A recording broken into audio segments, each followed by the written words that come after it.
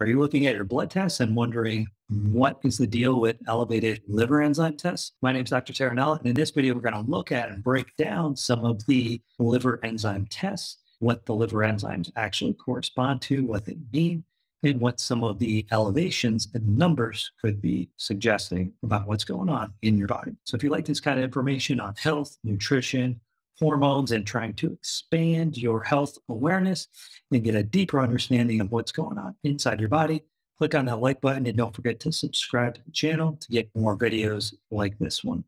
Now, for a quick disclaimer, the information in this video is for informational purposes only. It's not intended as a treatment for any health condition or as a substitute for seeing an actual doctor or medical professional. It should be used as an educational guide to deeper your understanding of your own health and treatment success. If medical attention is needed, don't delay in seeking that attention. Let's look at elevated liver enzyme tests and what they mean in the body.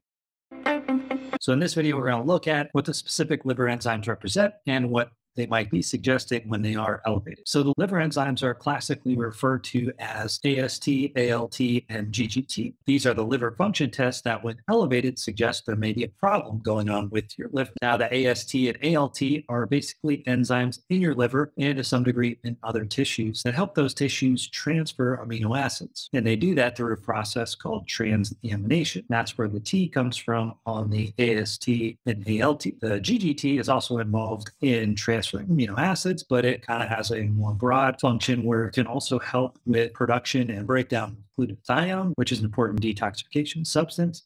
And the GGT also helps with elimination of toxins. These enzymes are most concentrated in the liver, but they can be found in other tissues. When we're testing for your liver function test, these are always the three liver function tests that are included AST, ALT, and GGT. Not everyone will do the GGT. It depends what type of panel is done and what else being looking looked for. But I do recommend using the GGT as it can be helpful in understanding what you're exposed to if your body is having a problem breaking down or eliminating toxins. And the GGT is thought to be more sensitive at picking up toxic burden. There's really no consensus on what each of the liver enzymes represent. For instance, if the AST is high, but the GGT and ALT are normal, does this represent some specific problem like viral hepatitis or drinking alcohol or something like that? so there's no consensus view or absolute statement that elevated AST represents problems from drinking alcohol, and ALT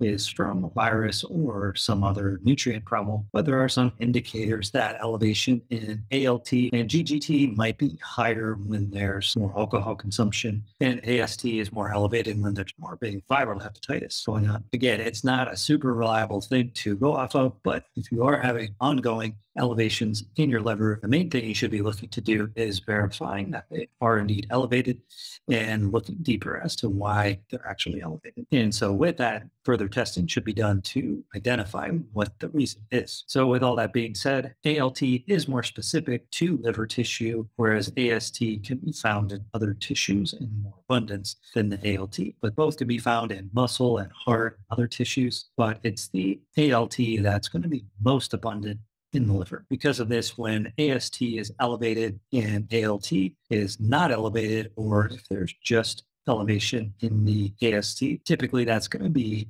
more indicative of muscle issue, and that should be explored in conjunction with any exploration of what could be wrong with the liver itself. So the fact that these liver enzymes are elevated in your blood test means that there's some damage to the tissues that contain these enzymes, because what's happening is those cells are breaking open and the enzymes within those cells, whether it's coming from muscle, heart, or the liver itself are flooding out into the blood and raising the overall levels of these specific enzymes. And that, of course, is not good, especially if it's happening on a regular basis and ongoing. Anything above 25 international units per liter, I would consider elevation. Of course, the higher that number is, the more problems it might.